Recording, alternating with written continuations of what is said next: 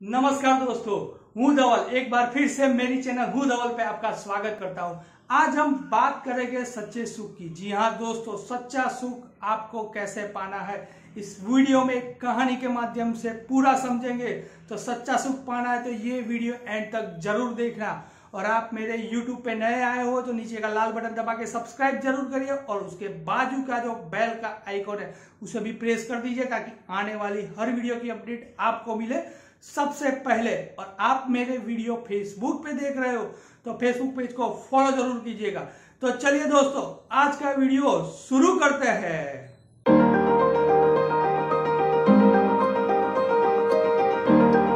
आज हम बात करने वाले हैं सच्चे सुख की। क्या वाकई में इस दुनिया में, इस ज़िंदगी में सच्चा सुख होता है? चाहे वो आम इंसान हो या कोई बड़ा आदमी हो, चाहे वो पॉलिटिशियन हो या कोई फ़िल्म स्टार हो, हर एक को चाहिए सच्चा सुख। सभी लोगों को सच्चे सुख की अपेक्षा होती है। पर क्या इस ज़िंदगी में सच्चे सुख पाने वालों की संख्या कितनी है? और क्या इस ज़िंदगी में सच्चा सुख मिल सकता है? अगर मिल सकता है तो वो किस तरह मिलेगा? उस पर बात करने वाले हैं एक कहानी के माध्यम से। जी हाँ दोस्तों, एक बड़े शहर की बात मैं आज आपके सामने रखूँगा और आप भी मान जाएँगे कि सच्चा सुख मिलता है। कहानी को एंड तक ज़रूर देखेगा एक बड़े शहर की बात हो रही है। उसमें एक जगह पे बहुत ही अच्छा सेमिनार शुरू हो चुका है और वहाँ पे उस सेमिनार में तकरीबन तकरीबन 50 लोगों ने जो कि काफ़ी सक्सेसफुल भी है और आम इंसान भी ऐसे तकरीबन 50 लोगों ने वहाँ पे पार्टिसिपेट किया है। वक्ता ने अपना वक्तव्य शुरू किया है।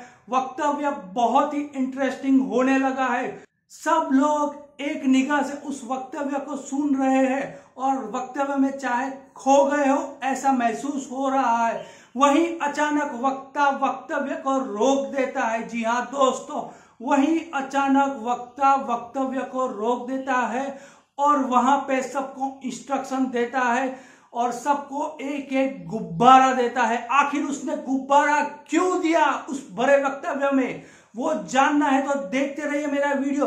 सभी को एक एक गुब्बारा दे दिया और उस उस वक्ता ने सभी को बोला। सभी जो वहाँ पे सुनने आए थे, उन्होंने बोला कि मार्कर पेन से हर एक गुब्बारे पे अपना अपना नाम लिख दो। सभी लोग उस गुब्बारे पे अपना अपना नाम बहुत बड़े अक्षरों से लिख देते तभी वक्ता बोलता है कि सभी गुब्बारों को एक दूसरे रूम में ले जाए। और सभी वहाँ पे जो उनके हेल्पर होते हैं, वो सभी गुब्बारे इकट्ठे करके एक दूसरे रूम में ले जाते हैं। लेकिन उसके बाद वक्ता कहता है कि सभी लोग आप उस रूम में जाइए और मैं आपको पाँच मिनट का टाइम देता हूँ। सिर्फ़ पाँच मिनट जी हाँ दोस्तों, आपने ठीक सुना। उस वक्ता ने सबको पाँच मिनट दिया और बोला कि अपने अपने नाम वाले गुब्बारे वहाँ से लेकर यहाँ पाँच मिनट में आ जाओ। सभी निकल पड़ते हैं उस अपने नाम वाले गुब्बारे की शोध में। जी हाँ दोस्तों, उस रूम में पहुँचते ही सभी लोग पाँच मिनट में अपना गुब्बारा शोधने का प्रयास करते हैं। और ढूंढते ही ढूंढते, लेकिन बहुत से ऐसे लोग होते हैं जो आपस में ही बिड़ जाते हैं, क्योंकि समय बहुत कम है। जी हाँ दोस्तों, समय की पाबंदी है, सिर्फ़ पाँच मिनट में अपने नाम वाला गुब्बारा लेके वापस वो मेन हॉल में आना है, जहाँ पे ये वक्तव्य चल रहा होता था। लेकिन क्या सब लोग ढूंढ पाए? नहीं, सिर्फ़ उसमें से तीन लोग वो अपने नाम वाला गुब्बारा ढूंढ के वापस आ गए। और एक बार फिर से सभी के सभी पचास लोग वो रूम में वापस आ गए और एक बार फिर से वक्ता ने कहा कि इस बार आप वही रूम में जाओगे और जो भी गुब्बारा आपके, जिसका भी नाम वाला गुब्बारा आपके हाथ में मिले, वो लेकर बाहर आना है और उस नाम वाले को वापस उसका गुब्बारा देना है। तो सभी वक्ता एक बार फिर से वही रूम में गए दोस्तों। जी हाँ दोस्तों, वही रूम में गुब्बारा ने ले गए। इस बार पाँच मिनट भी नहीं हुए थे।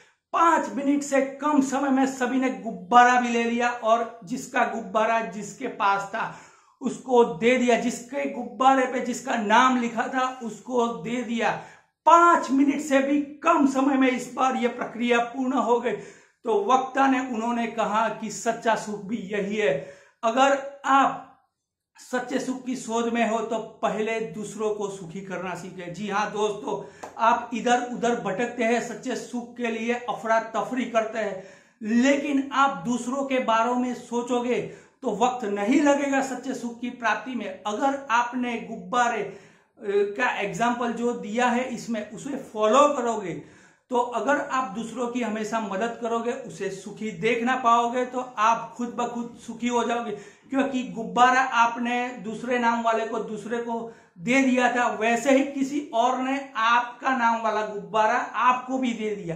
तो यही है सुख की परिभाषा। आप दूसरे को सुखी करिए, देखना आप अपने आप सुखी हो जाएँगे। तो ऐसे ही सुखी और आनंदमय बड़े वीडियो के लिए आप मेरे वीडियो से जुड़े रहिए। अभी तक आपने हमारा चैनल सब्सक्राइब नहीं किया तो नीचे का लाल बटन दबा के सब्सक्राइब ज़रूर कीजिएगा और वीडियो पसंद आए तो नीचे का लाइक का बटन भी प्रेस कर दीजिएगा।